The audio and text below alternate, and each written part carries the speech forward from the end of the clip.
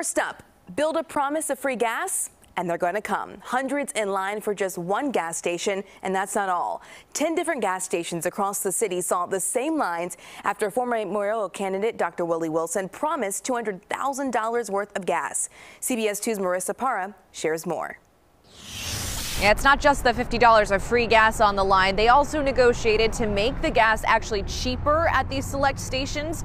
Here at this one, it's 40 cents less today than it was yesterday. Some people waiting in line since midnight for their chance. Filling gas tanks is also filling hearts. I am feeling so great right now with this $50. I am so happy, Willie. Hey! Waiting in line for five hours for Dr. Willie Wilson's gas giveaway. A small price to pay for free gas, they say. I have kids. I have to get them to school every day. The gas prices is just so high. I just can't make it. Look at this truck. It's a pain in my rear end. The gas is ridiculous. So I don't want to drive this everywhere. I'm burning literally 150 a week. 10 different gas stations across the city with hundreds at each waiting for a chance at the pump. Did you expect the turnout like this?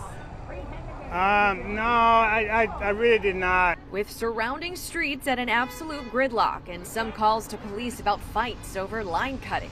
Dr. Wilson says that's a sign of a larger problem. People are desperate for, for, for money to get gas, to get to work.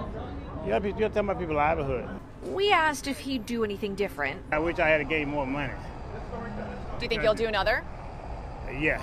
Yeah, you heard it here first. He's planning on doing this again on March 31st, not just at the same 10 gas stations, including this one, also looking to expand in the south and west suburbs as well.